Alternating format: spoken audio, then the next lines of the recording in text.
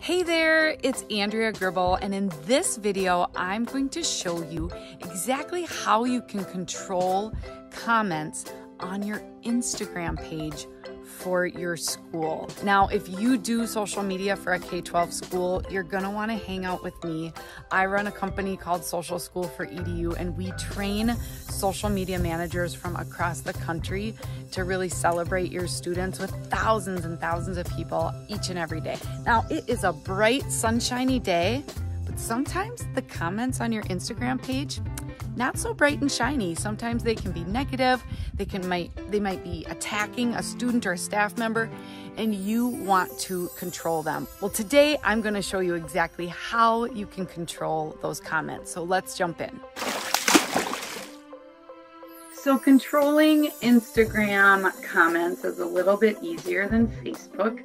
Um, actually, if you go onto any post, you can go up to the three dots in the corner. When you select that, see how it says turn off commenting?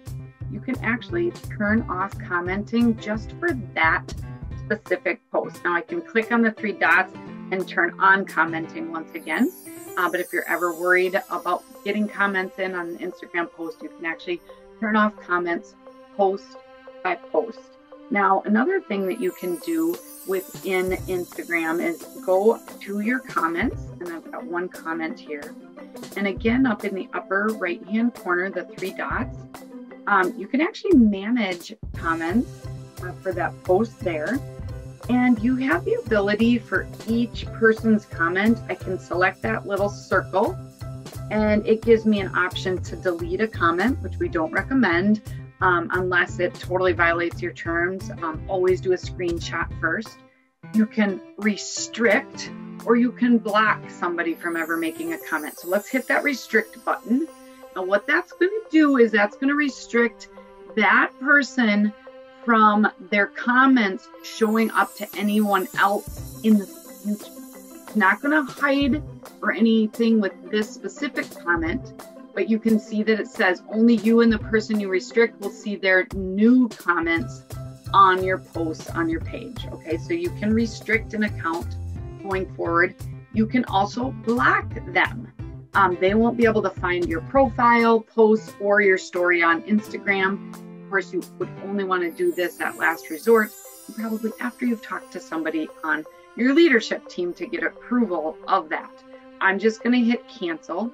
Um, but then the other option up in the three dots is comment controls.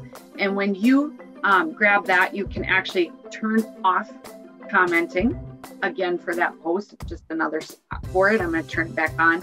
And then choosing your words to hide. And ah, there's a lot of bad words in there. We have a standard list of words that we hide uh, from automatically showing up on our posts on Instagram and on Facebook and on Twitter, um, we suggest that you do that as well. And one more spot to control comments kind of overall is up in the upper right hand hamburger menu there. We're going to select that and go to settings and privacy. And within privacy, you're going to see in under interactions comments. Um, and you have the ability, again, um, to ignore the I've got a lot of bad words um, on the bottom of my of my post. Um, but you can allow comments from people you you know from everyone. You can allow them from just people you follow and your followers. You can do people you follow or your followers, um, and then you can block you know comments from specific people. Um, you can hide offensive comments. So there's a lot of opportunities on Instagram to control the comments, to keep things positive, to celebrate your district. And I sure hope that you learned a little bit in this little tip. Now, until next time, keep telling those stories.